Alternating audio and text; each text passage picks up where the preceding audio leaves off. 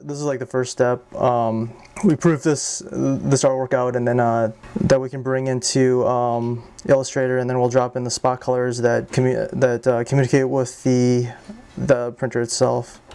This gets exported uh, into an EPS. So right now we're going to go through and uh, send through that line of jobs that we looked at earlier. So this is all set up, ready to go. So we're going to just send through.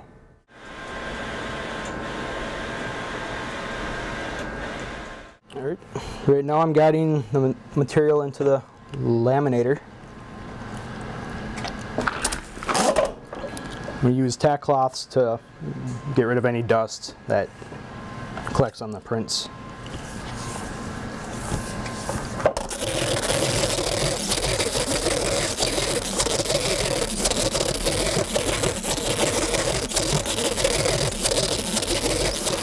So yeah, once they're done, then we're gonna cut them down.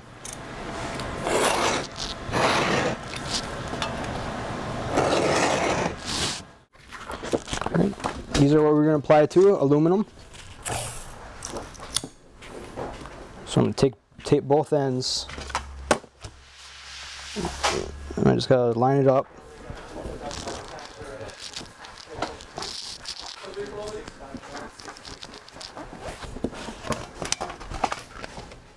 This is the machine we use to apply all of our signs.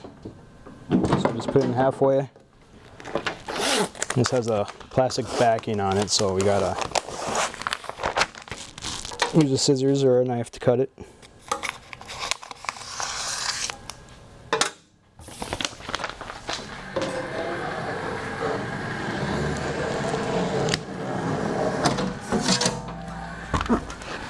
And then we gotta do the other side.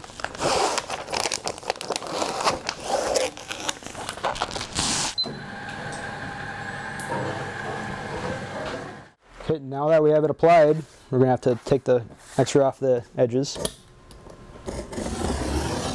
For this, you want to make sure you have a pretty sharp blade. There you go, that's a sign right there.